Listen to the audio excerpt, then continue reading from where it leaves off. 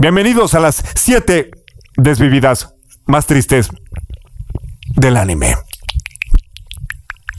Número 7, Jiraiya, Naruto Shippuden. Hola, ¿qué tal? Me llamo Jiraya. ¡No molestes, tarado!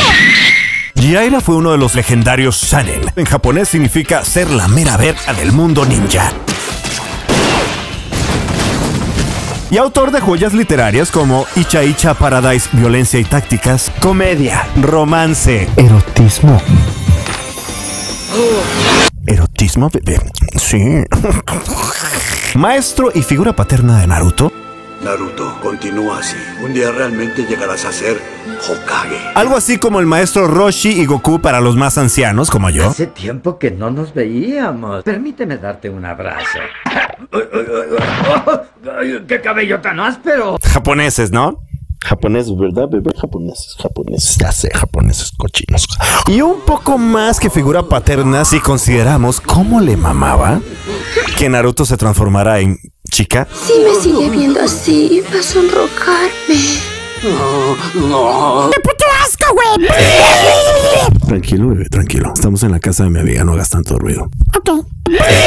Lo bueno es que en lugar de convertirse en el clásico meme cancerígeno de sangrar por la nariz como Roshi, pasó a la historia como una leyenda. Jiraiya se entera de la ubicación del líder de una secta y al tener una frustración enorme toda su vida de no poder concretar todo bien, mi vida llena de fracasos, lo impulsa a sacrificarse por una buena causa. Se enfrenta él solito a los seis cuerpos del Pen, algo así como marionetas satánicas.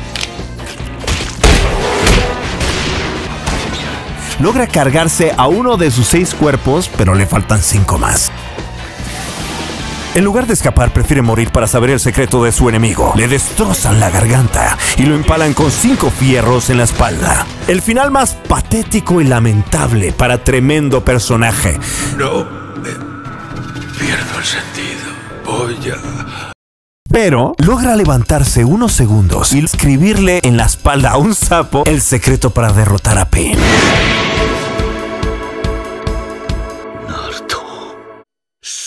託すぞ。 Mientras se hunde en el agua, se echa un monólogo nivel cine. ジライア高血物語。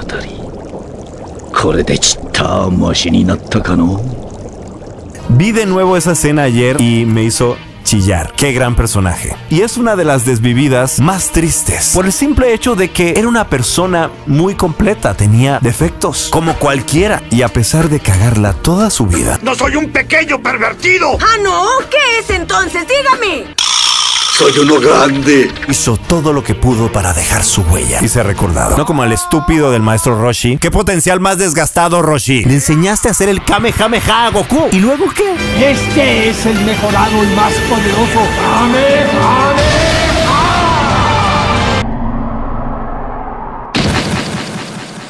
¿Quieres traer Crunchyroll con un 80% de descuento? Obvio, senpai. Crunchyroll sin anuncios, ni pop-ups, ni virus, como en otros sitios. Con las mejores series de anime. Que sí. Y pasar de 120 pesos al mes, o sea, 7 dólares, a solo 20 pesos. O sea, un dólar. Sin importar que estés en México o cualquier otro país. Por supuesto, perro. Ya, saca el tip. ¿Fácil? Solo necesitas CyberGhost VPN. Y lo único que necesitas es descargar CyberGhost VPN en el link de la descripción. Ya lo descargué. Al abrirlo te conectas a las Filipinas, entras a Crunchyroll y ahora el precio está en la moneda de ese país, que solo es un dólar al mes, o sea, 20 pesitos. Listo, ya tienes la membresía mensual de Crunchyroll por el precio de un kilo de tortillas. Te ahorraste un 80% por la suscripción. Oh my god. CyberGhost VPN no solo sirve para Crunchyroll, te puedes conectar a más de 120 países alrededor del mundo y desbloquear todo, pero todo el catálogo de Netflix, Max, Prime, Disney Plus. Ah, cuéntame más, mamón.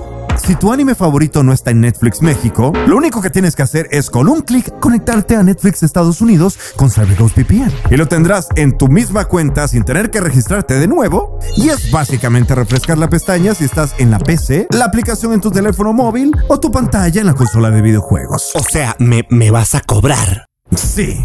No, no, no le entro, güey. Lo siento, no. No. ¿Tú estás bien? Ay. Perdón. ¿Estás bien de verdad? No te fracturas. Solo 40 pesitos al mes. Porque tenemos un descuento del 84% y cuatro meses completamente gratis. Mm, bueno, no está tan mal. Eso incluye el acceso a más de 120 países con muchos servicios gratuitos de streaming que solo existen en esos países. Imagínate ver partidos de fútbol gratis que solo existen en España o Europa sin pagar ni un solo peso. Jalo a todo, pero fútbol guácala. Ah, ¡Qué asco! Y comprar juegos de Nintendo Switch mucho más baratos. ¿Juegos baratos? Oferta exclusiva solo para el canal de London. Link en la descripción. Justo aquí abajo. ¿Aquí? Sí, ahí. Gracias, Senpai. Pueden probarlo por 40 días y si no les gusta, se les regresa todo el dinerillo. Número 6. Él en Death Note. Él es un vato que se la pasa jorobado en su silla, traga dulces todo el tiempo sin engordar, se la pasa descalzo, siempre se frota las patas. ¡Oigan! ¡Alguien me tocó el trasero! Claramente neurodivergente y es un puto genio. Dime, Light, desde que naciste ha habido un momento en el que dijeras la verdad. Tanto que la policía le mama los huevos para resolver crímenes que ni ellos mismos entienden, porque son muy estúpidos hasta que la policía le pide encontrar a un asesino que se anda cargando a 46.500 personas al año.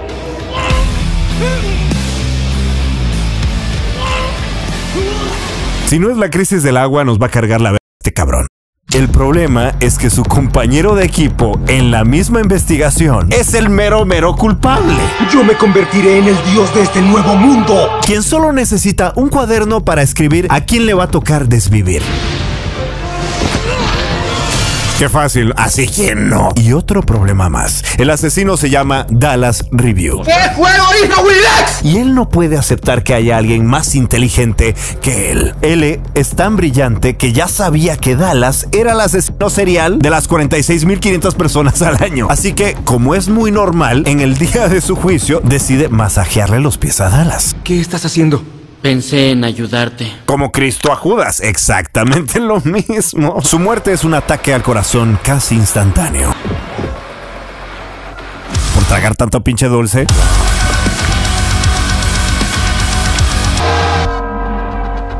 Y en estos últimos momentos logra descifrar el misterio. Pero ya es muy tarde. ¡Qué asco que da este cerdo, eh! El desvivimiento de L deja un vacío profundo en todos los corazones hemos del mundo entero. ¿Por qué te fuiste? Porque ya no estás a mi lado. ¡Quiero estar contigo! ¡Me muero! Y la serie desde entonces no es tan buena. Puedes llamarme N. ¿M? Ni el manga ni el anime porque me los chuté los dos. Sufrió un desbalance tremendo porque L es irreemplazable. Hasta que por fin Dallas en el último episodio le toca su merecido. ¡Ay, es increíble! Número 5. Kaori Shiwatsu Wakimi no. Sé cómo pronunciar eso correctamente. Kaori es una talentosa violinista que se convierte en la inspiración y el interés amoroso de Kousei Arima, un joven pianista prodigio que ha dejado de tocar el piano después de la muerte de su madre. A lo largo de la serie, Kaori ayuda a Kusei a redescubrir su amor por la música y superar su trauma. El único problema de Kaori es que se está desviviendo. お父さんとお母さんが泣いているのを見て、Aunque ella trata de ocultarlo y hacer como si no pasaran nada, yo conozco mucha gente así. Su condición se deteriora mega rápido. Ah, ah. Termina hospitalizada hasta el punto de operarse, una operación mega riesgosa, con la esperanza de poder tocar una vez más junto a Kusei. The Last Dance, The Last Cumbia, el último toquín, el último reven. Ya estás guapa. Gracias, baby. Obviamente no sobrevive. 行かないでくれ暇つぶしに電話してきてよ友人 A で構わないから La noticia destruye a Kousei. En una carta póstuma, Kaori revela sus verdaderos sentimientos por él. Y como siempre lo admiró y lo amó desde que eran niños. Y que mintió diciendo que le gustaba otro güey solamente para acercarse a él y no darle mucha presión. Ojalá me pasara eso a mí. ¡Ándela a la ver! compa. La carta motiva a Kousei a echarle ganas en la vida, como dice Kareli Ruiz. ¿Puedes dar un consejo para los chavos? Eh, pues echarle ganas. Con su música honrando la memoria de Kaori y el amor que compartieron, y no rendirse ante las adversidades. Pues echarle ganas. La muerte de Kaori es uno de los momentos más emotivos y desgarradores de Shigatsu Wakimi no Uso.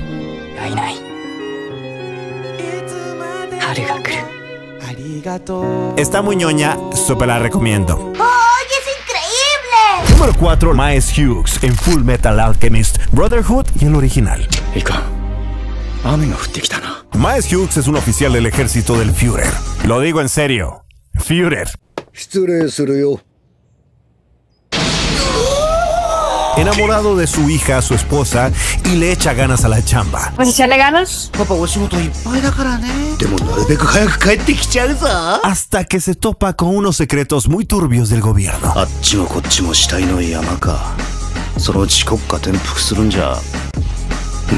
Una conspiración de gran magnitud que involucra a altos mandos del ejército. Con semejante Führer, no me extraña. Ah, y al momento que va a informar a su mejor amigo que también está en el ejército, la única persona con quien confiar en este momento.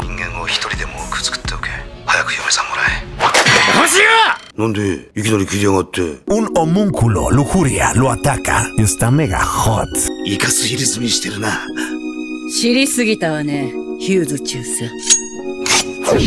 Logra comprar tiempo en su enfrentamiento, pero termina desangrado y arrastrándose. Y antes de decir ¡Ayuda!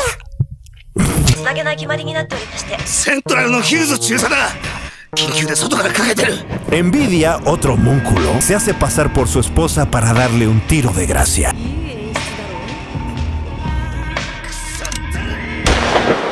Lo más deprimente de su desvivida es que era el personaje más íntegro, funcional, buena onda de toda la serie. Buen padre, buen esposo, realmente quería aportar algo chido a la vida, a la sociedad. O sea, así que tan normie como ustedes, otakus, hediondos, no era. Y aunque supo defenderse, nadie estaba ahí en sus últimos momentos para apoyarlo.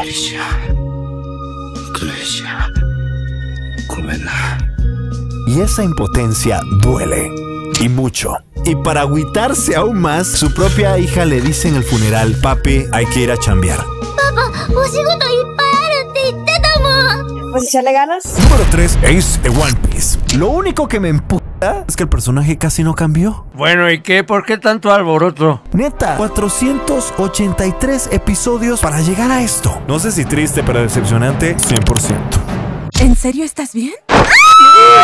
Ace es el hijo del rey de los piratas y también un miembro de las fuerzas especiales de la tripulación Barba Blanca Ginyu. ¡Las Fuerzas Especiales Ginyu! Muy temido por su linaje, pero también por piratear juegos en Taringa. Yo no lo descargo porque ya lo tengo. Es buscado y condenado a la morición por la Marina. Y esto finalmente pasa, les recuerdo, después de 438 episodios. One Piece, ¿por qué eres así? 白ひげの船の2番隊隊長危険のエースの公開処刑が確定した Luffy y sus amigos logran liberarlo, pero durante su escape son confrontados por el almirante. En un acto heroico y porque el prota no puede morir, obis. ¡Espera!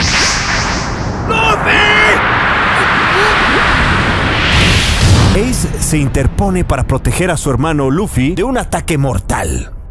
Y ese güey pega y pega y da un y da vergas. No solo le atravesó el pecho, sino que hasta le borró su pinche tatuaje todo culero. Estarás bien, ¿no? Mis ojos están aquí. Digo, aquí. Ace expresa su gratitud. Les agradezco por haberme aceptado, incluso si no debía existir. Y muere en los brazos de Luffy. ¡No te rindas! Hermanito, creo que empiezo a sentirme muy débil.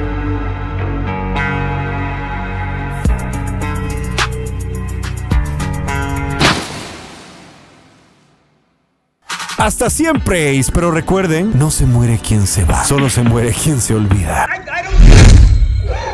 Número 2. Gohan del futuro. Esto lo puse en la lista porque es personal, ¿ok? Y porque sí, se aguantan. ¿Mm? En un último intento de salvar a Trunks, Gohan pierde su brazo izquierdo. Y se sacrifica para que Trunks sobreviva. Gohan termina destrozado bajo la lluvia. Gotas de lluvia de mi corazón. Güey, esto es demasiado cringe. O sea, ya me estoy pasando de lanza en el cringe. Nunca es suficiente cringe, Lonro. Nunca es suficiente. ¿Cuándo vas a parar, cabrón? Cuando regresa Trunks y ve el cuerpo destrozado de su único amigo, es motivo suficiente para convertirse en Super Saiyajin.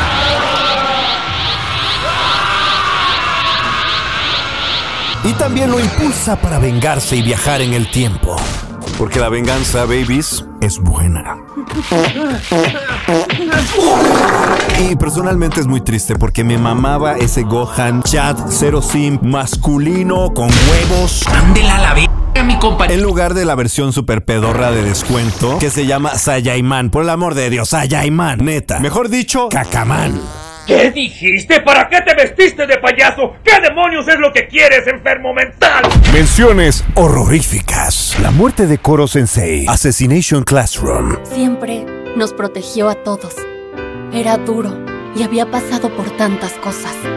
Así era nuestro profesor. Rem Re Zero. Noga. Furueru. Camina. Tengen Topa Gurren Langan.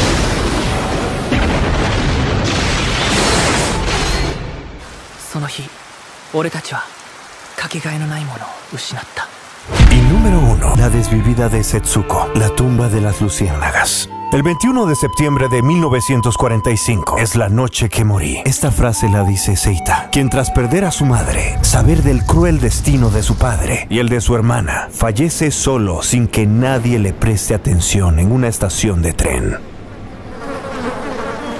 Ah, otro más. Pues echarle ganas. Esta película la vi por primera vez en la secundaria y cuando la vi juré que nunca más la iba a volver a ver hasta ahora.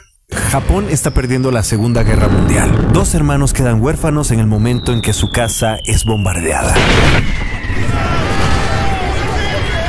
Ellos, sin más opción, se resguardan en un refugio abandonado. La guerra continúa y se quedan sin absolutamente nada que comer. Ya no nos queda nada que cambiar. Por favor, ¿puedo pagarle con dinero el arroz? Lo siento, no puedo cambiarles o venderles nada. La hermanita comienza a mostrar signos de desnutrición severa. Su salud empeora tanto que casi no puede ni moverse. Y llega a delirar que empieza a imaginar que las piedras son caramelos y trata de comerlas. Setsuko, ¿qué tienes en la boca? La escena de su desvivida es uno de los momentos más tristes del cine y es histórico. Trasciende el lenguaje del anime, es una de las películas más importantes de la historia, mostrando lo cruel que puede llegar a ser la humanidad con el bombardeo de Japón, reducido a las vidas minúsculas de dos niños inocentes. Por eso, para mí y para muchas personas, es la más triste de toda la lista. Y no la recomiendo porque prefiero que tengan un día feliz.